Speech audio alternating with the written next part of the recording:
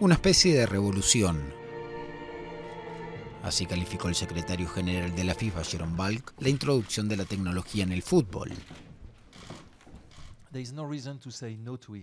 No hay razón para decirle que no a la tecnología, mientras sea de ayuda, mientras sea un soporte útil para el juez y no cambie el juego. Esto significa que no se detiene el juego, no se pide una interrupción para ver si la decisión fue correcta o no. El árbitro tiene en menos de un segundo la información sobre si la pelota está dentro.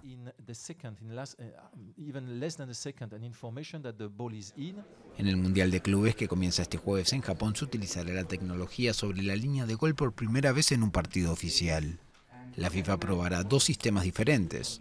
Por un lado el GoalRef, de origen alemán, que consiste en un microchip que se coloca en el balón y un campo electromagnético se crea en el arco a través de 10 sensores. Y por otro lado se probará el sistema británico conocido como ojo de halcón, que ya se utiliza en el tenis.